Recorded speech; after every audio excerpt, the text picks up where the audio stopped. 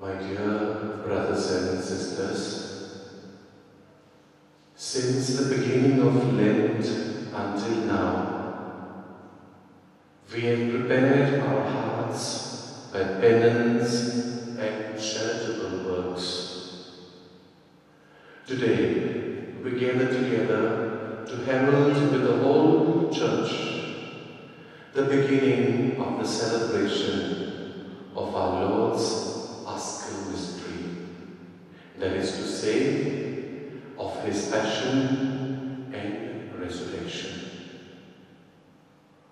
For it was to accomplish this mystery that he entered into his own city of Jerusalem.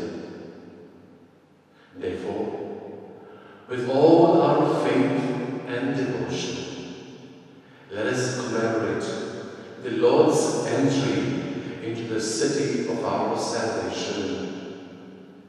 And following in his footsteps so that being made by his grace partakers of the cross, we may have a share also in his resurrection and in his life.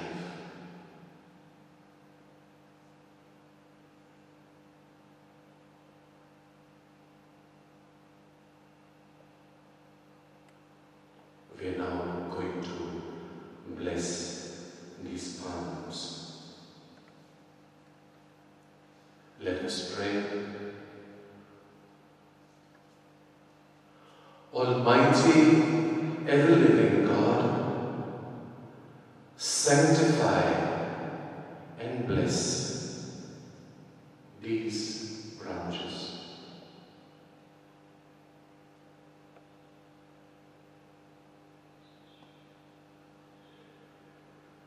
Bless these branches with your blessing, that we who follow Christ, the King in exaltation, may reach the eternal Jerusalem through him, who lives and reigns forever and ever. Amen.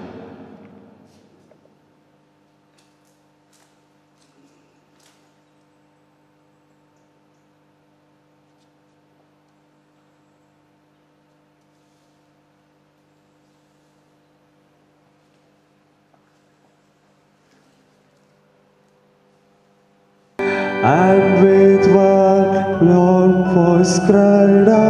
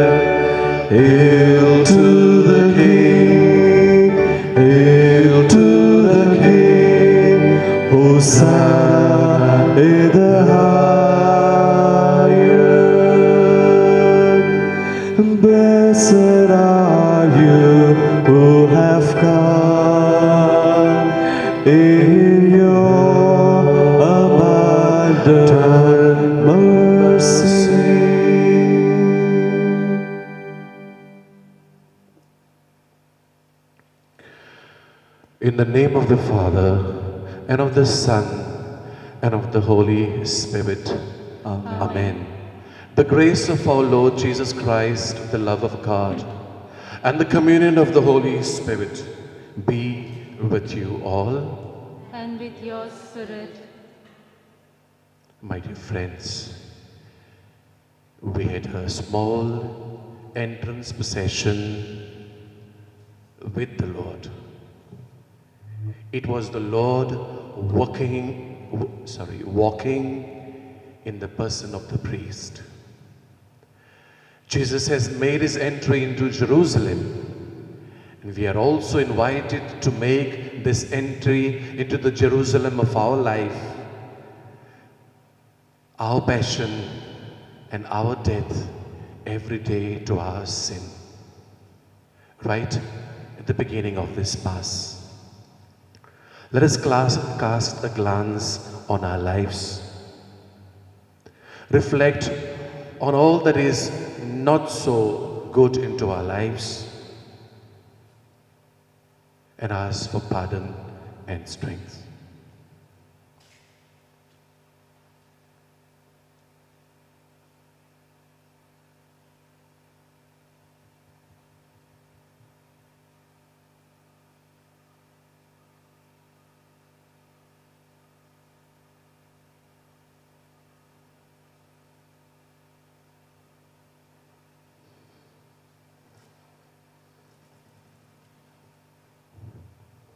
With a contrite heart, let us all ask for God's mercy and say, I confess to Almighty God and to you, my brothers and sisters, that I have greatly sinned in my thoughts and in my words, in what I have done and what I have failed to do, through my fault, through my fault, through my most grievous fault.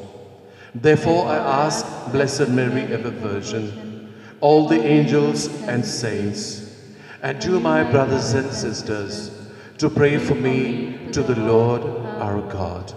May Almighty God have mercy on us, forgive us our sins, and bring us to everlasting life. Amen. Lord, have mercy. Lord, have mercy. Christ, have mercy. Christ, have mercy. Lord, have mercy. Lord, have mercy.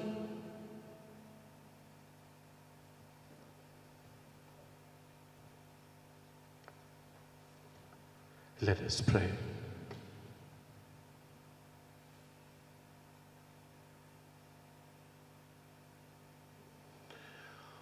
Almighty ever living God, who, as an example of humility for the human race to follow, caused our Savior to take flesh and submit to the cross. Graciously grant that we may heed his lesson of patient suffering and humility, and so merit a share in his resurrection, who lives and reigns with you in the unity of the Holy Spirit, one God, forever and ever. Amen. Amen. A reading from the book of Isaiah. The Lord God has given me the tongue of those who are taught, that I may know how to sustain with a word him that is weary. Morning by morning he wakens, he wakens my ear to hear as those who are taught. The Lord God has opened my ear, and I was not rebellious. I turned not backward.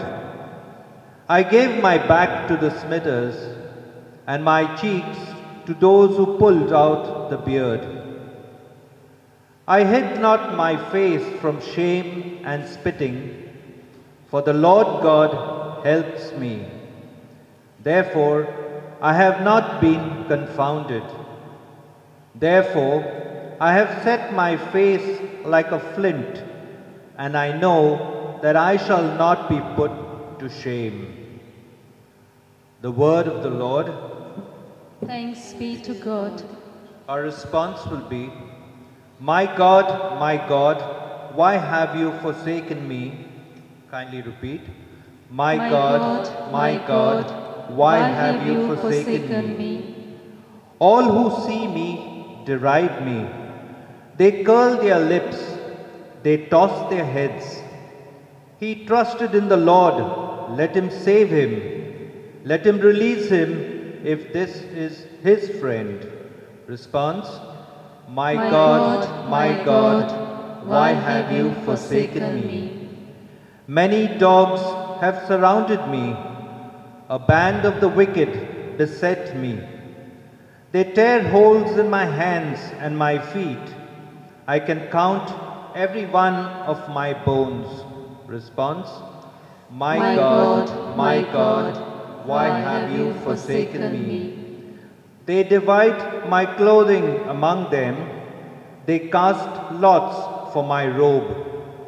O Lord, do not leave me alone. My strength, make haste to help me. Response My, God, my God, why have you forsaken me? I will tell of your name to my brethren and praise you where they are assembled. You who fear the Lord, give him praise. All sons of Jacob, give him glory. Revere him, Israel's sons. Response My God, my God, why have you forsaken me?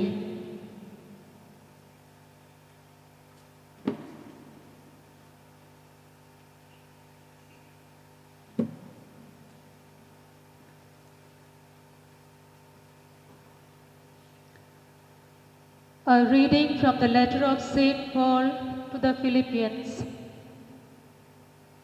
Christ Jesus, who, though he was in the form of God, did not count equality with God a thing to be grasped, but emptied himself, taking the form of a servant, being born in the likeness of men. And being found in human form, he humbled himself and became obedient unto death, even death on a cross.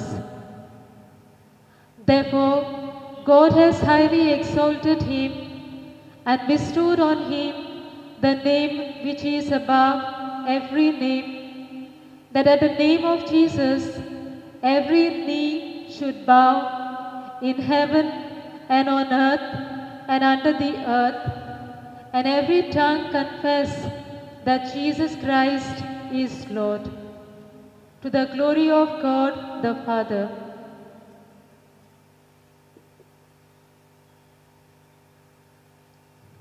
The word of the Lord, Thanks be to God. acclamation.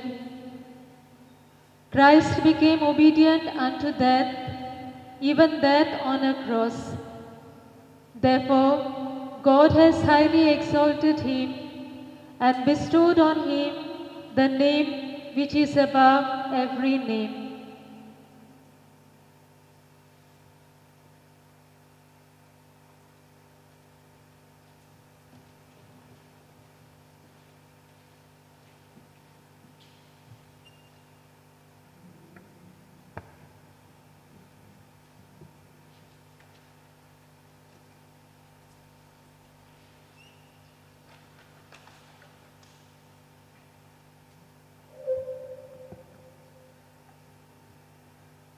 Passion of our Lord Jesus Christ according to Saint Matthew. One of the twelve, who was called Judas Iscariot, went to the chief priests and said, What will you give me if I betray him to you? They paid him thirty pieces of silver, and from that moment he began to look for an opportunity to betray him. On the first day of unleavened bread, the disciples came to Jesus, saying, Where you want us to make the preparation for you to eat the Passover, Jesus said, Go into the city to a certain man and say to him, The teacher says, My time is near. I will keep the Passover at your house with my disciples. So the disciples did as Jesus had directed them, and they prepared the Passover meal. When it was evening, he took his place with the twelve, and while they were eating, he said, Truly, I tell you, one of you will betray me. And they became greatly distressed and began to say to him one after another, Surely not I, Lord. Jesus answered, The one who has dipped his hand into the bowl with me will betray me. The Son of Man goes as it is written of him, but woe to that man by whom the Son of Man is betrayed. It would have been better for that man not to have been born at all. Judas, who betrayed him, said, Surely not I, Rabbi. Jesus replied, You have said so. While they were eating, Jesus took a loaf of bread, and after blessing it, he broke it, gave to his disciples, and said, Take, eat. This is my body. Then he took a cup, and after giving thanks, he gave it to them, saying, Drink from it, all of you, for this is the blood of the covenant, which is poured out for many for the forgiveness of sins. And I tell you, I will never again drink of this fruit of the vine until that day when I drink it anew with you in my Father's kingdom. When they had sung the hymn, they went out to the Mount of Olives. Then Jesus said to them, You will all become deserters because of me this night. For it is written, I will strike the shepherd, and the sheep of the flock will be scattered. But after I am raised up, I will go ahead of you to Galilee. Peter said to him, Though all become deserters because of you, I will never desert you. Jesus said to him, Truly I tell you, this very night, before the cock crows, you will deny me three times. Peter said to him, Even though I must die with you, I will not deny you.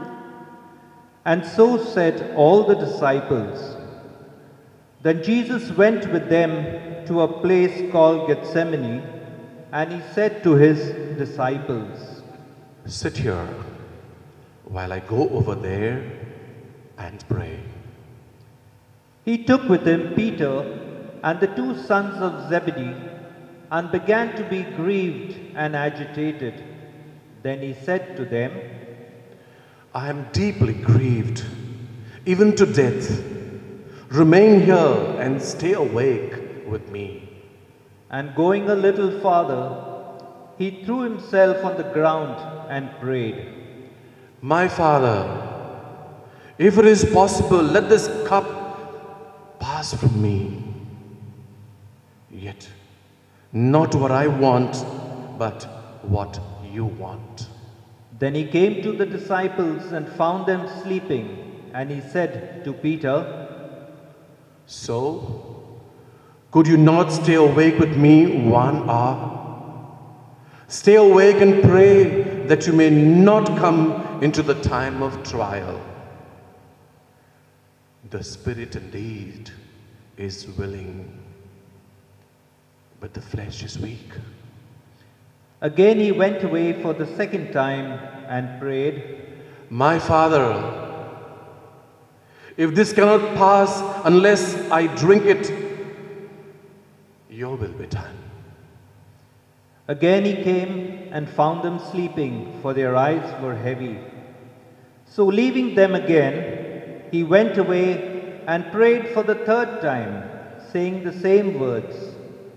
Then he came to the disciples and said to them, Are you still sleeping? Are you still sleeping and taking rest? See, the hour is at hand, and the Son of Man is betrayed into the hands of sinners. Get up.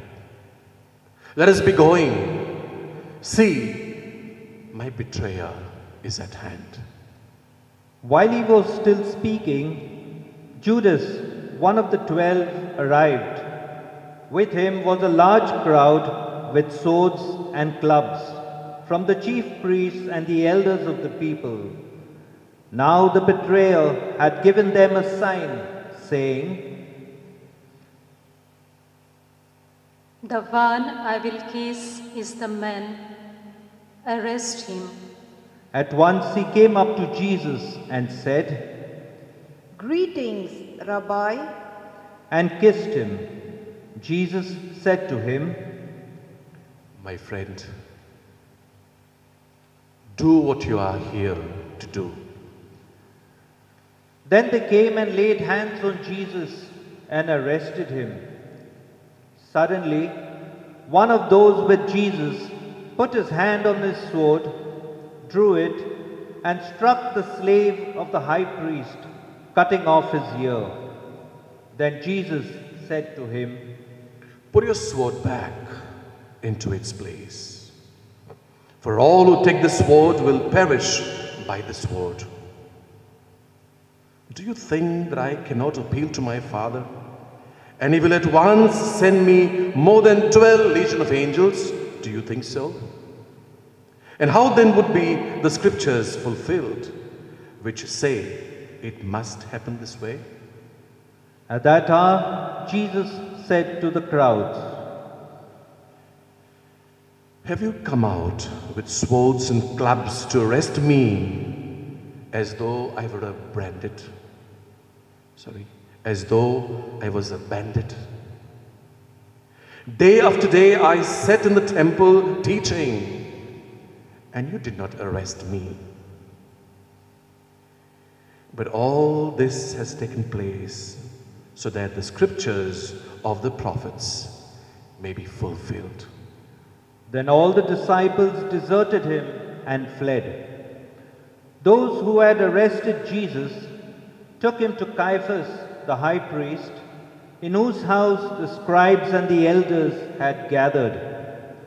But Peter was following him at a distance, as far as the courtyard of the high priest, and going inside, he sat with the guards in order to see how this would end.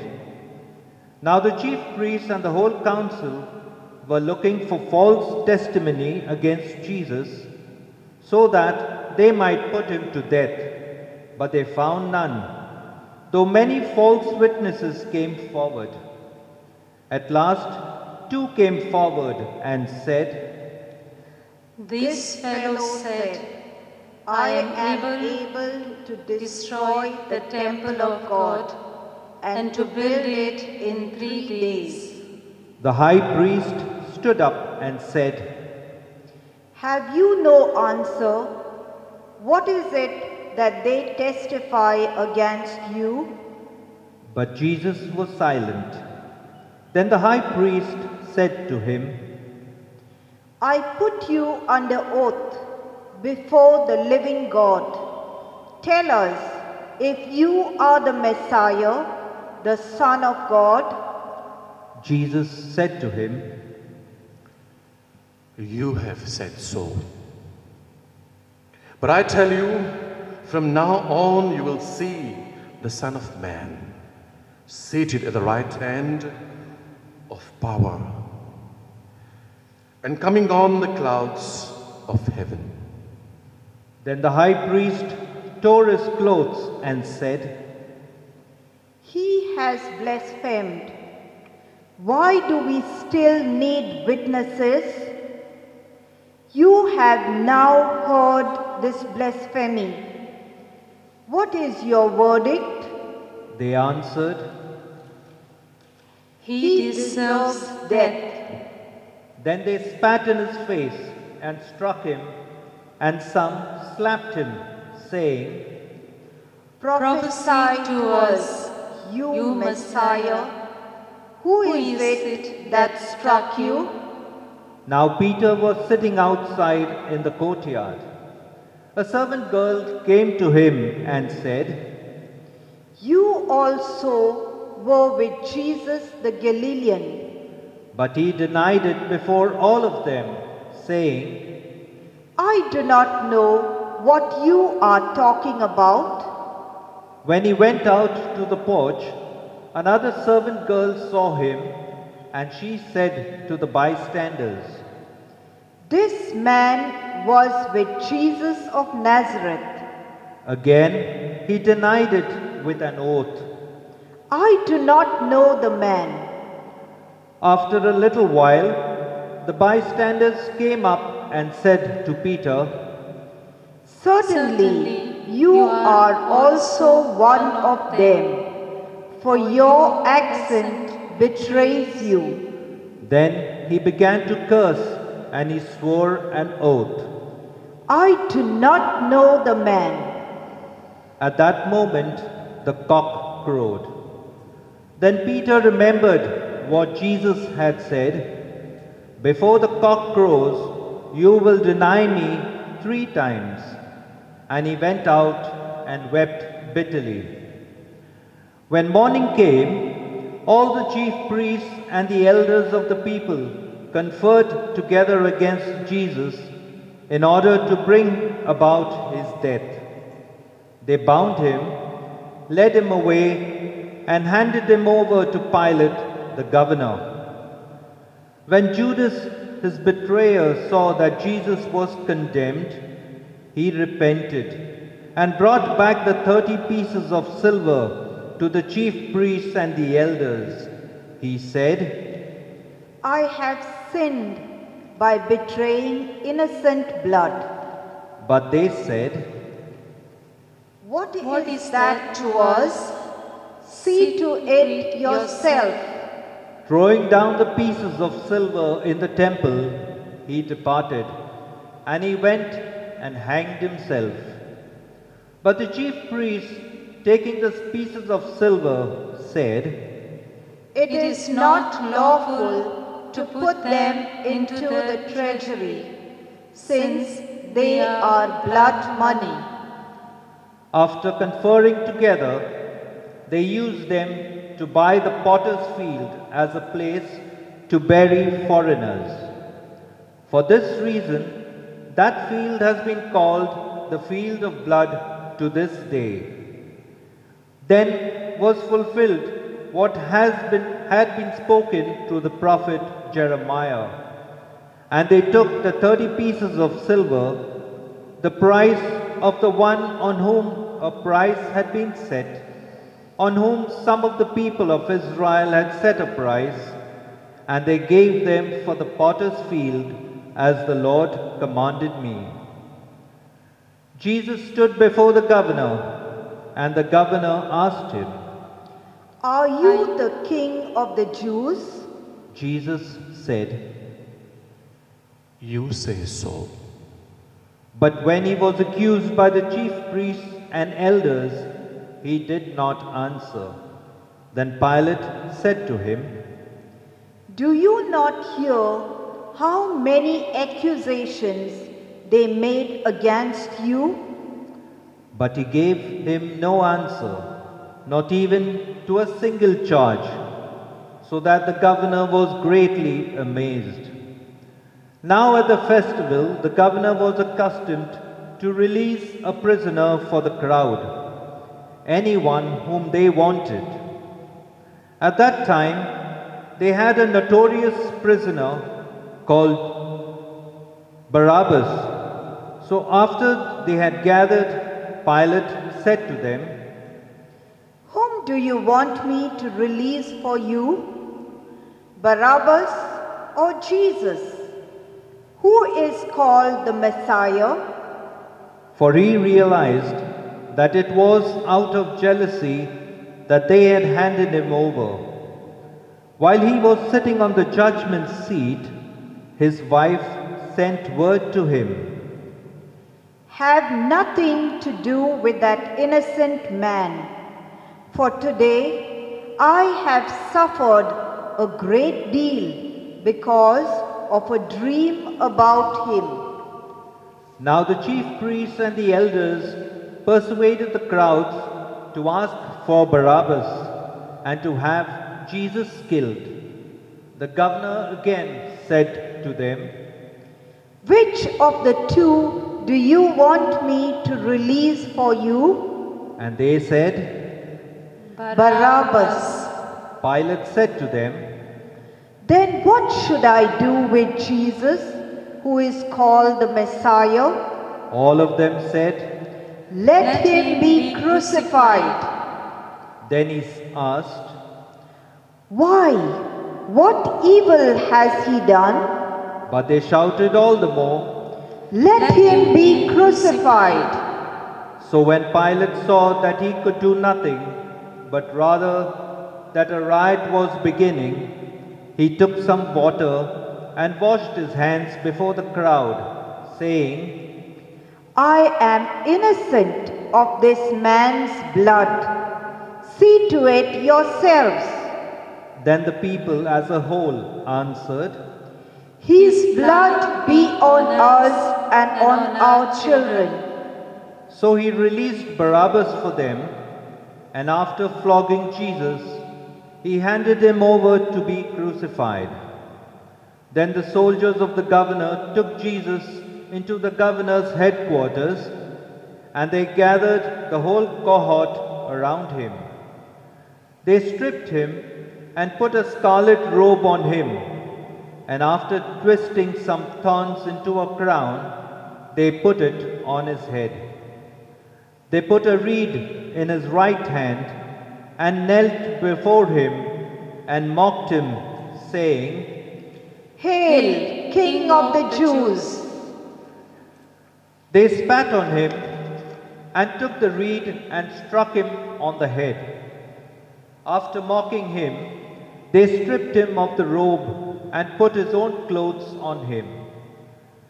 Then they led him away to crucify him. As they went out, they came upon a man from Cyrene named Simon. They compelled this man to carry his cross. And when they came to a place called Golgotha, which means place of a skull, they offered him wine to drink mixed with gall. But when he tasted it, he would not drink it. And when they had crucified him, they divided his clothes among themselves by casting lots. Then they sat down there and kept watch over him. Over his head they put the charge against him, which read, This is Jesus, the King of the Jews. Then two bandits were crucified with him, one on his right and one on his left. Those who passed by derided him, shaking their heads and saying, You who would destroy the temple and build it in three days, save yourself. If you are the Son of God, come down from the cross.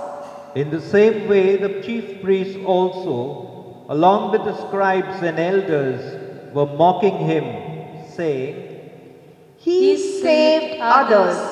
He cannot save himself. He is the King of Israel. Let him come down from the cross now, and we will believe in him. He trusts in God. Let God deliver him now if he wants to, for he said, I am God's son. The bandits who were crucified with him also taunted him in the same way. From noon on, darkness came over the whole land until three in the afternoon. And about three o'clock, Jesus cried with a loud voice, Eli, Eli, lema sabachthani. that is, My God, my God, why have you forsaken me? When some of the bystanders heard it, they said, This, This man man is is calling calling for for Elijah. At once one of them ran and got a sponge, filled it with sour wine, put it on a stick, and gave it to him to drink. But the others said, Wait, Wait, let us see whether Elijah will come to save him. Then Jesus cried again with a loud voice and breathed his last. Let us all kneel down for a while.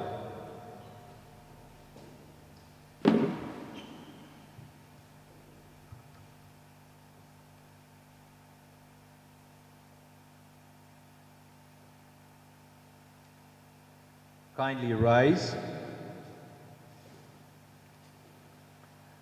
At that moment, the curtain of the temple was torn in two from top to bottom. The earth shook and the rocks were split. The tombs also were opened, and many bodies of the saints who had fallen asleep were raised. After his resurrection, they came out of the tombs and entered the holy city and appeared to many. Now, when the centurion and those with him who were keeping watch over Jesus saw the earthquake and what took place, and they were terrified and said, Truly, this man was God's son. Many women were also there looking on from a distance. They had followed Jesus from Galilee and had provided for him. Among them were Mary Magdalene and Mary, the mother of James and Joseph, and the mother of the sons of Zebedee. When it was evening, there came a rich man from Arimathea named Joseph, who was also a disciple of Jesus.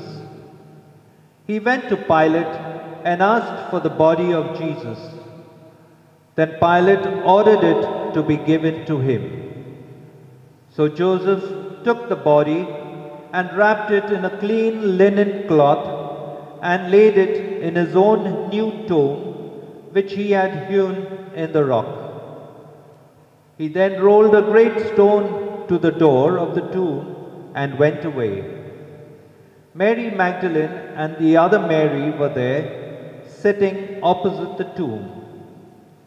The next day, that is, after the day of preparation, the chief priests and the Pharisees gathered before Pilate and said, Sir, we remember what that impostor said while he was still alive.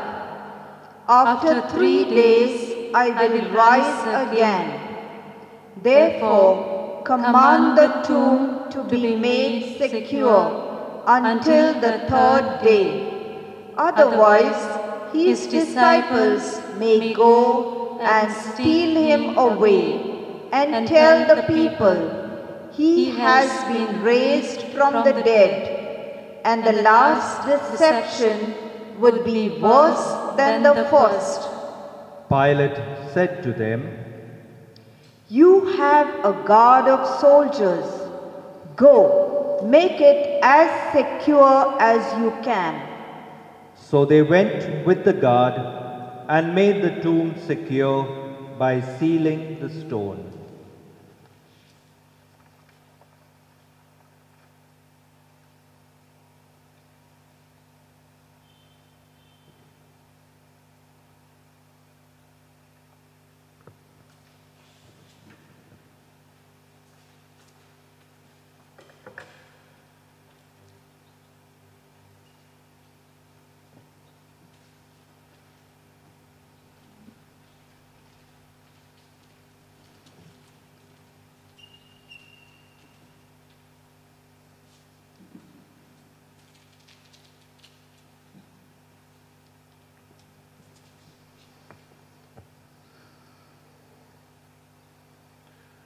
My dear friends,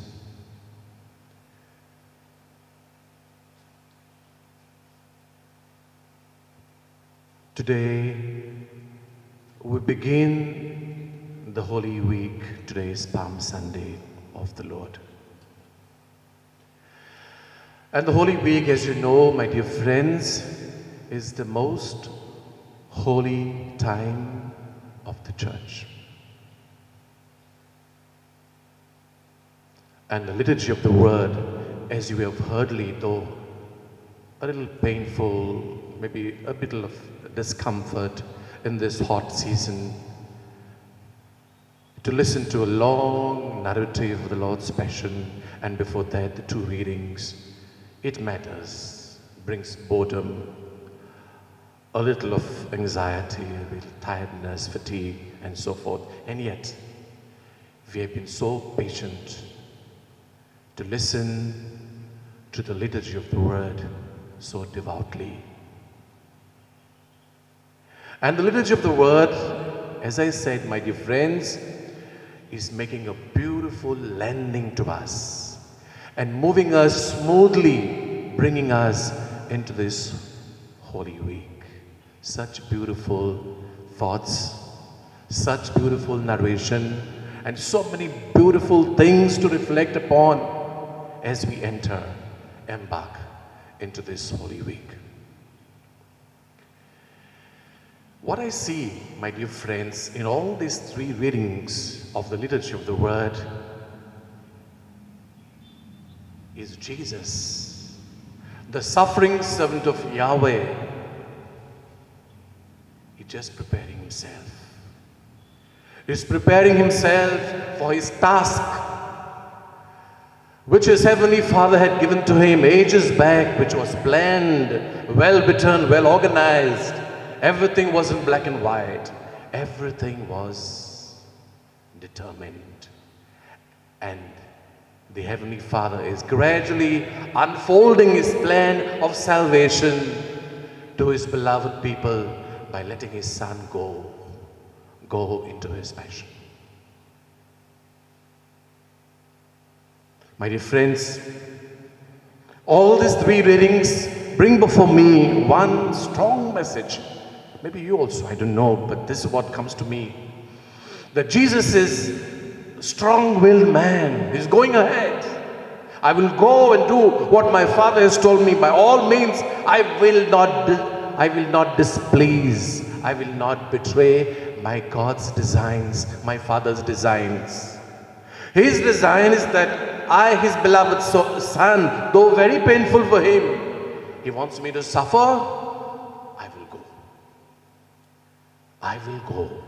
I will not hesitate. I will not take my steps back. If I do that, I will spoil his plans. I will destroy his whole edifice of his planning as an organized father. I will do that. I will make a big mistake. I will go ahead. These three readings, my dear friends, tell me this aspect of Jesus' intention is very clear intention that he wants to go ahead. He has to go ahead. He wants to go ahead. He wills to go ahead. In the first reading we have just heard, says, The Lord has opened my ear,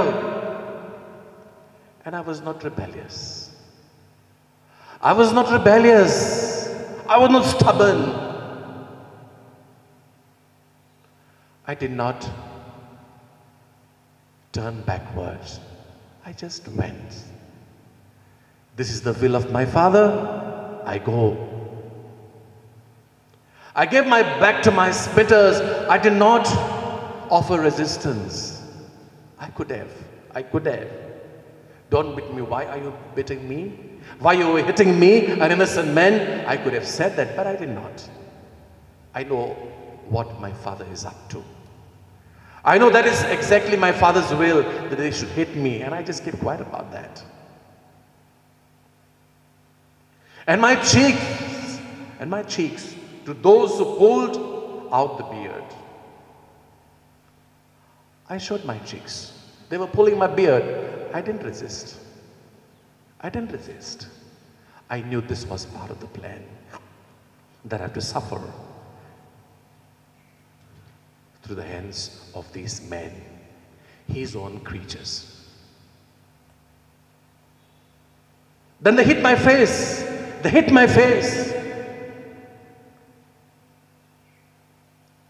But I did not hide my face. I did not hide my face from hitting and spitting. They will spat.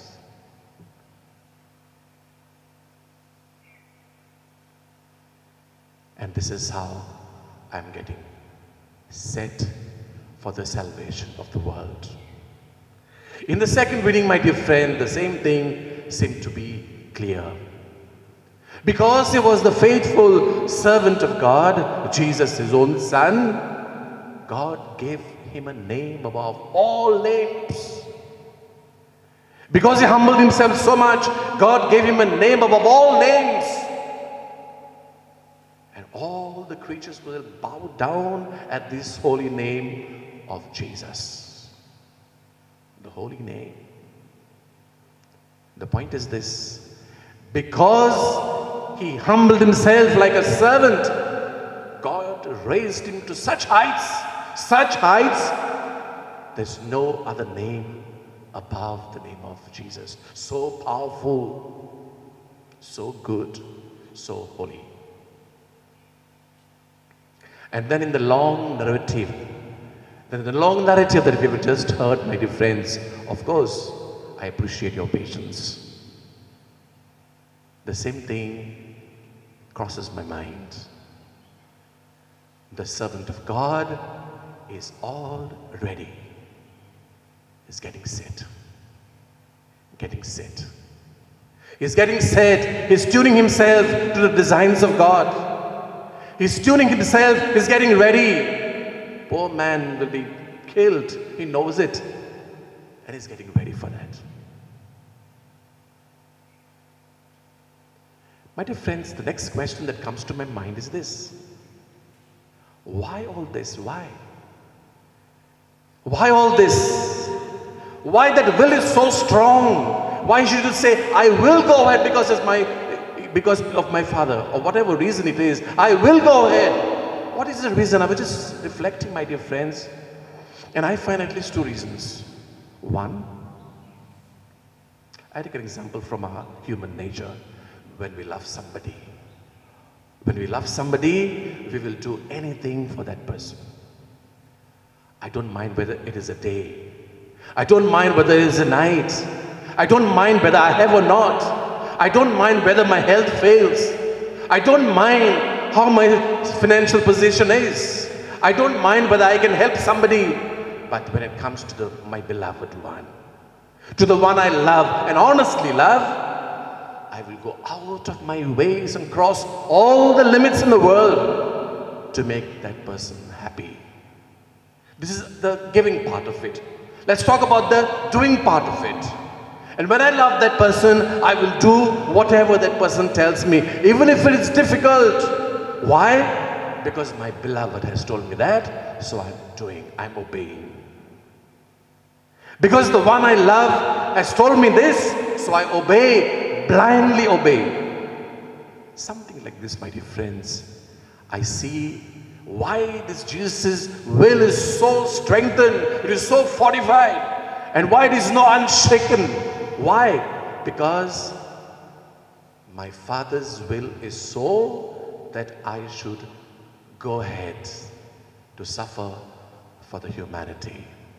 And whatever my Father wants, I will do by all means. I will not displease Him. I will not make Him unhappy. Again, as I said, I will not distort His plans. I will go just according to His plans. I will exactly fit into the plan that He had made ages ago that I should do this. And I am His beloved Son. How can I displease Him? This is one reason why his will is steadfast. I have to go. I'm determined to go. I have to suffer. I have to do this. Though he says, in humanly speaking, he says, even in the even in the response that we have given today, My God, my God, why have you forsaken me? Why have you forsaken me? Like a child he cries. Like a child he cries. My Father, if it is your will, let this cup pass away from me. Please take it away. Humanly speaking, like a child, talks. I don't want. Humanly speaking, like a child, he begs his father and says, Not once, at least twice. At least twice he begs of his father, Father, my father, if it is your will, please let this cup pass away from me. If it is your will. My dear friends, in spite of this resistance, why he still goes forward? Though his weakness brings him back, though his even for that matter, temptation at that moment may be, why are you doing this? Why are you suffering? Why should you do this? Why should you die like this? Some temptation here and there must have been there, humanly speaking. The Bible does not speak about all the temptations of Jesus. Perhaps even at this moment, a temptation might have knocked at his door and said, Jesus, what are you doing? Are you a fool? What are you doing? Why are you killing yourself? Let the world go to hell. Why do you bother about the people? What is so big about that God's designed for you? So what if you see, if you're a son of his? Just keep it aside. Just go away from the cross. These temptations, humanly speaking, my dear friends, could have come across on his way. I'm just saying because not everything is recorded here. Not all temptations of Jesus are recorded here. It's possible. But still then, my dear friends, why is Jesus going again? I said one reason is because he loved his father. And because he loves his father, he listens and does whatever his father wants. The second thought I'm placing before you, and first for me as a meditation, also why he went ahead, why his will was so strong, because he loved me. And when I say loved me, each one of you should say, because he loved me me. He thought of me on the cross. He thought of me in Gethsemane. He thought of me while he felt fled in that, in that garden. He thought of me before I was born. And he thought of me to give me salvation. And that's why, as I said, when you love someone, you are prepared to do anything for that person. He thought of me with love when he was taken up on the cross. He took my name. Believe it or not, he took my name. I'm dying for Manuel. I'm dying for my beloved John. I'm dying for my beloved Mary. I'm dying for my beloved whoever. Place your name there be happy about that. My dear friends, with these few reflections, maybe one or two, let us enter into this beautiful time the Lord is offering us. What is our disposition then? As we enter in, into this Holy Week, my dear friends, you must remember, as I was reflecting with you yesterday, Jesus is not suffering again. Let us be sure about this. Jesus is not dying physically again and again after, after and after, over and over again. Every season of Lent, he's not dying. So what are we doing here? What are we doing?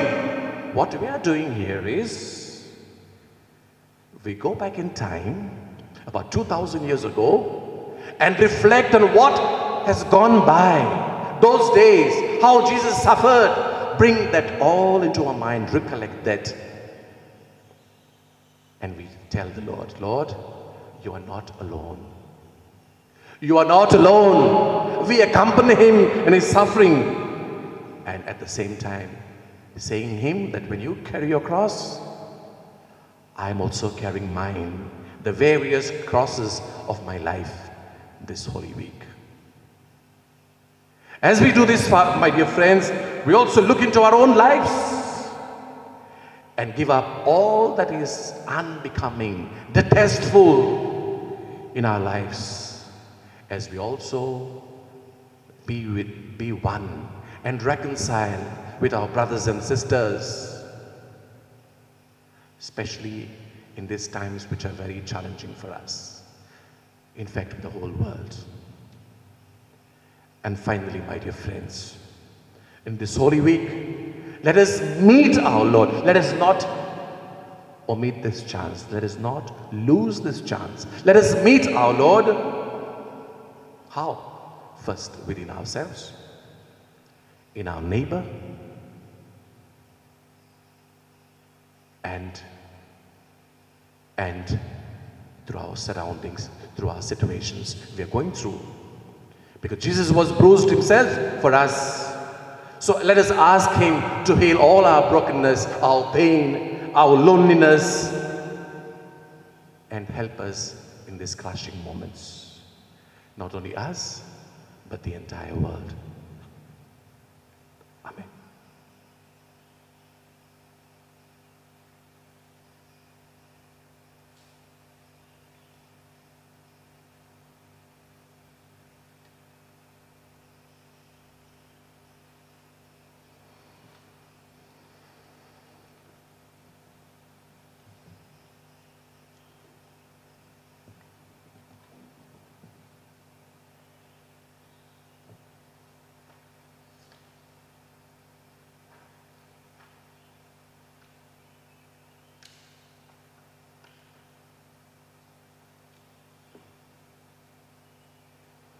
We shall now say the I believe and profess our faith.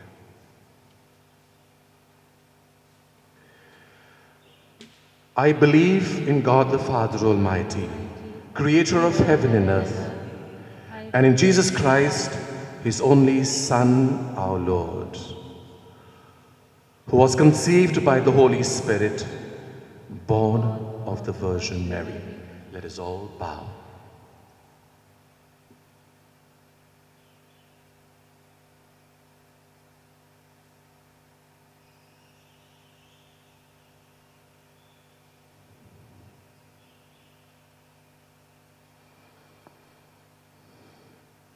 Suffered under Pontius Pilate, was crucified, died, and was buried. He descended into hell. On the third day, he rose again from the dead. He ascended into heaven and is seated at the right hand of God, the Father Almighty. From there, he will come to judge the living and the dead. I believe in the Holy Spirit, the Holy Catholic Church, the communion of saints, the forgiveness of sins, the resurrection of the body, and the life everlasting. Amen. Let us pray for our needs.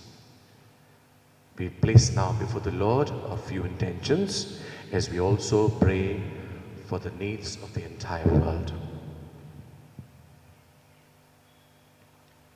Let your response be, Lord, bestow your kindness upon us. Kindly repeat, Lord, Lord, bestow, bestow your, your kindness, upon us.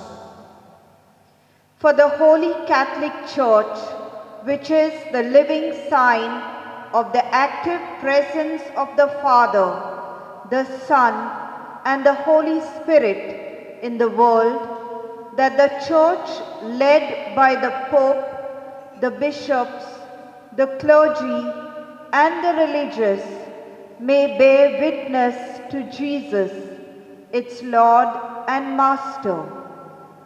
We pray, Lord, Lord, bestow, bestow your your kindness, kindness upon, upon us. For Christians who are persecuted on account of their faith in the Lord Jesus, that in their suffering they may withdraw, they may draw strength from Jesus, who has suffered and risen. We pray, Lord, Lord, bestow your kindness upon us. That the church, which is the mystical body of Christ, may stand against all forms of discrimination and injustice prevalent in human society. We pray, Lord, Lord, bestow your kindness upon us. For all the weaker sections of society, such as the poor, the homeless, the sick, and the defenseless, that they may be cared for by God, who is kind to all. We pray, Lord, Lord, bestow your kindness upon us. For all of us present in this Eucharistic assembly, that the celebration of Palm Sunday may help us in our resolve to face trials and difficulties and to have deep trust in God. We pray, Lord, Lord, bestow your kindness upon us.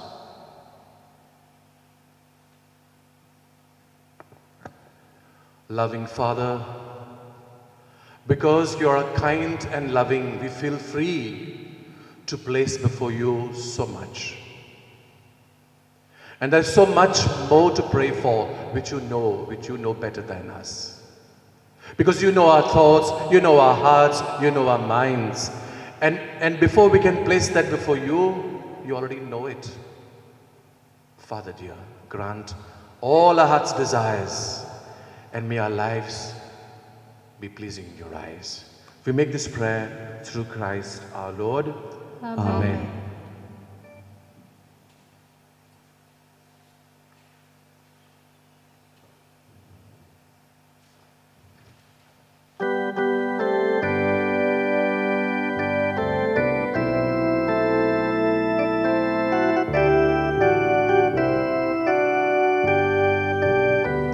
I give my hand to do your will, and Jesus, Lord, I give them willingly. I give my feet to go your way, and every step I shall take carefully. Oh, the joy of the Lord is my strength, my strength. Oh, the joy of the Lord is my help, my help. For the power of His Spirit is in my heart, and the joy of the Lord is my strength. I give my eye to see the world and everyone in just the way you do. I give my tongue to speak your word, to spread your name and freedom giving through.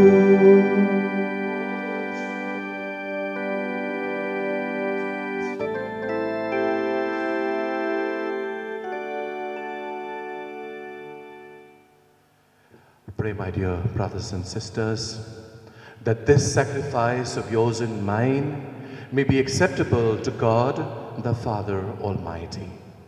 May the Lord accept the sacrifice at your hands for the praise and glory of his name, for our good and the good of all his holy church.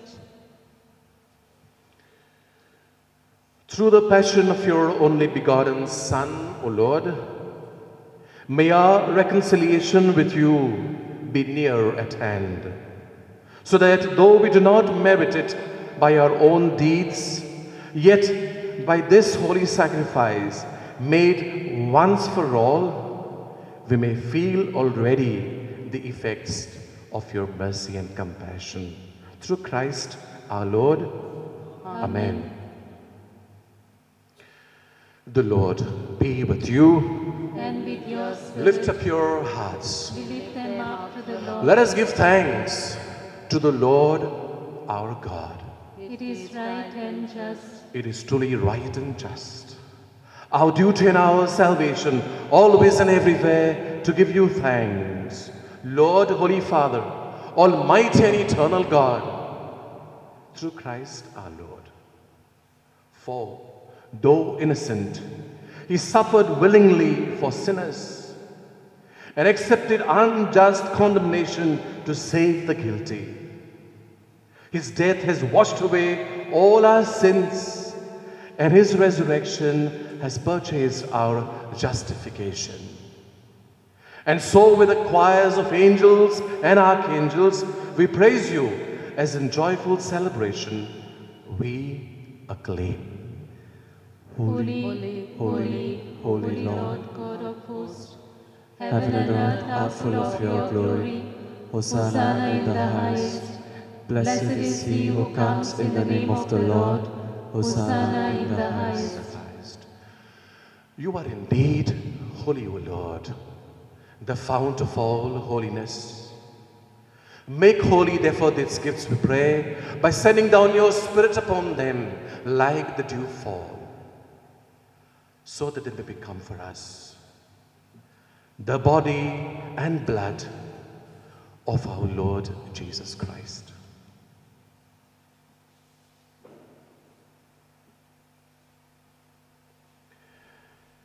At the time he was betrayed and entered willingly into his passion, he took bread and giving thanks, he broke it. He gave it to his disciples, saying,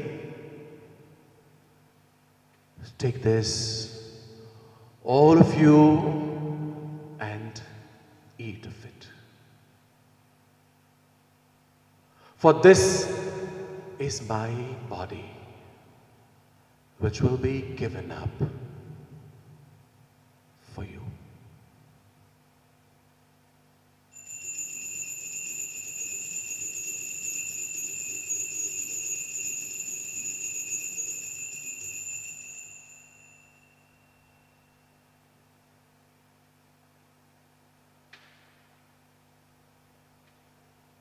In a similar way, when supper was ended, he took the chalice and once more giving thanks, he gave it to his disciples, saying, Take this, all of you, and drink from it.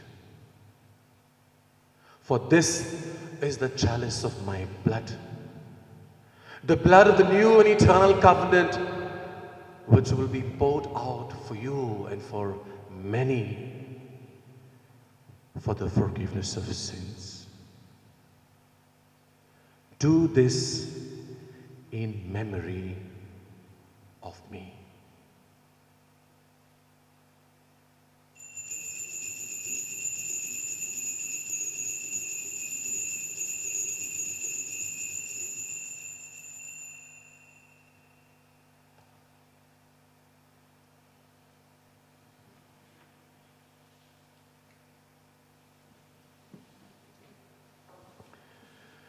The mystery of faith.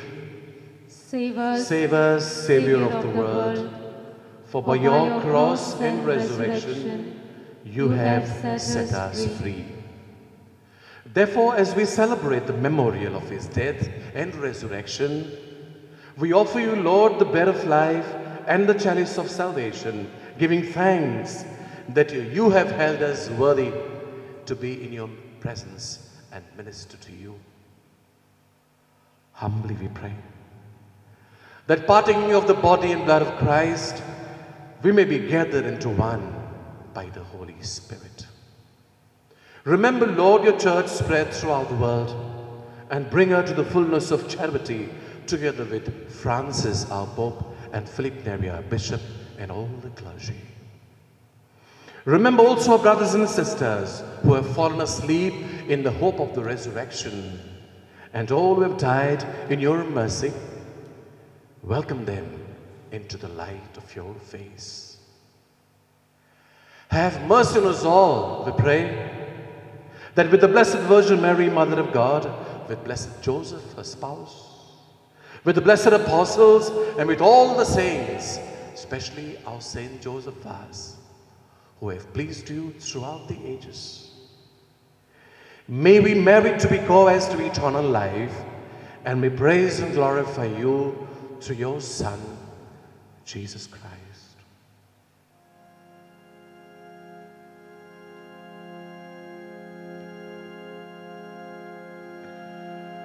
Through him and with him in him. O God Almighty Father, in the unity of the Holy Spirit, all glory and honor is yours forever and ever. Amen.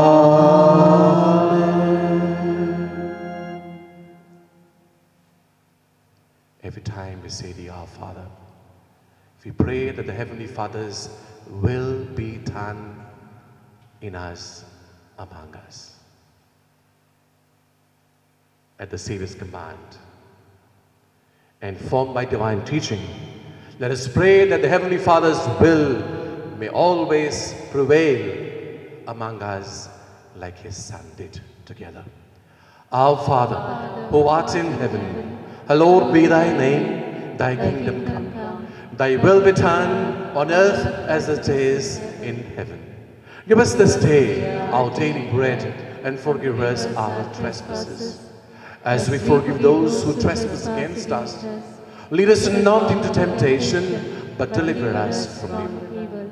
Deliver us, Lord, we pray, from every evil. Graciously grant peace in our days, that by the help of your mercy we may always be free from sin and safe from all distress, as we await the blessed hope and the coming of our Savior, Jesus Christ. For the kingdom, the power, and the glory are yours, now and forever. Lord Jesus Christ, you set, you set your apostles and you say to each one of us, I leave you peace. My peace I give you. Look not on our sins but on the faith of your church and graciously grant her peace and unity in accordance with your will, who live and reign forever and ever. Amen. The peace of the Lord be with you always. And with your spirit. Let us offer each other the sign of peace.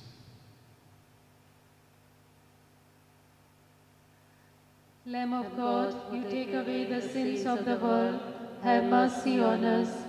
Lamb of God, you take away the sins of the world, have mercy on us. Lamb of God, you take away the sins of the world, grant us peace.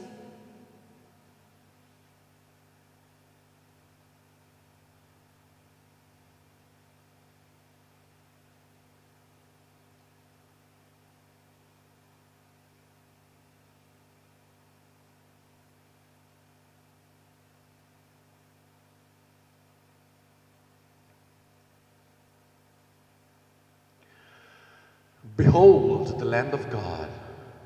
Behold who takes away the sins of the world. Blessed are those who are called to the supper of the Lamb. Lord, I'm not worthy that I should enter into my roof, but only say the word, and my soul shall be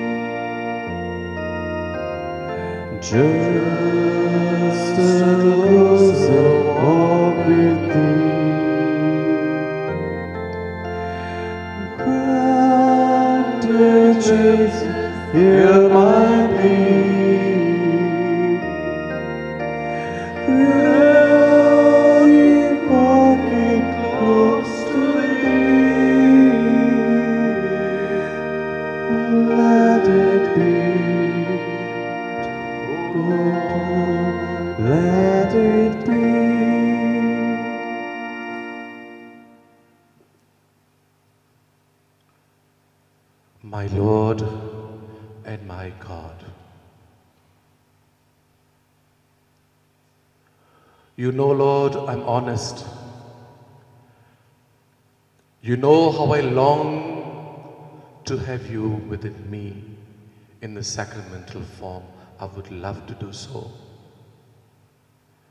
But given the circumstances, I am not able to. I'm not able to receive you sacramentally, and that's why, Lord, I ask you, plead you to do me this favor. At this moment, come into my being spiritually. Come into my being spiritually, take full possession of my whole being. You be my God, you be my Lord. And that's why, in a small little hymn, I invite you into my life. I want you to come, Lord, into my Come, Jesus. Come into my heart at this very sacred moment. Join me, Lord. Unite with me spiritually and be my God be my Lord.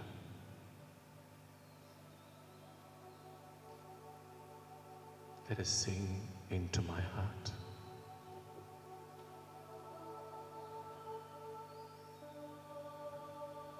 Come into my heart, Lord. Come into my heart.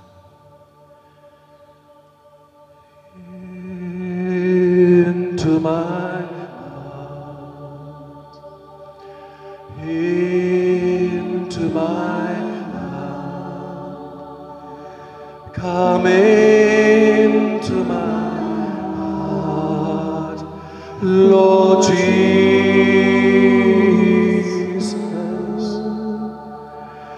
Come in today. Come in to stay. Come into my heart, Lord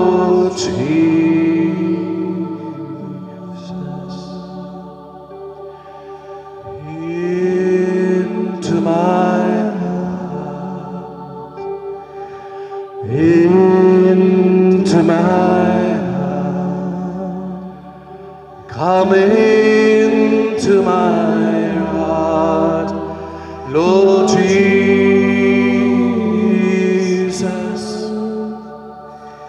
Come in today. Come in to stay. Come into my heart, Lord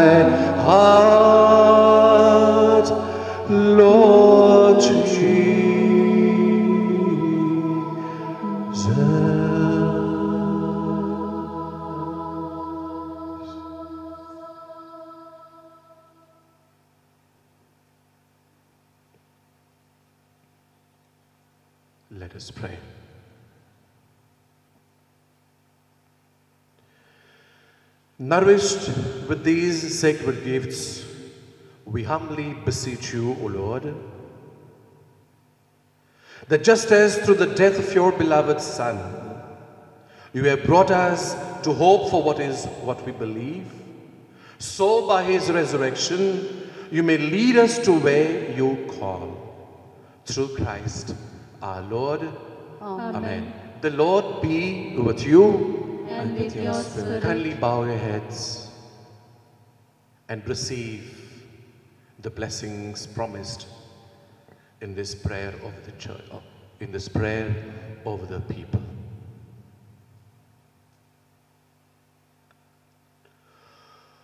Look, with pray, O Lord, on this your family, for whom our Lord Jesus Christ did not hesitate to be delivered into the hands of the wicked and submit to the agony of the cross, who lives and reigns forever and ever. Amen. And may Almighty God bless you, the Father, the Son, and the Holy Spirit. Amen. Go forth, the Mass is ended. Thanks be to God.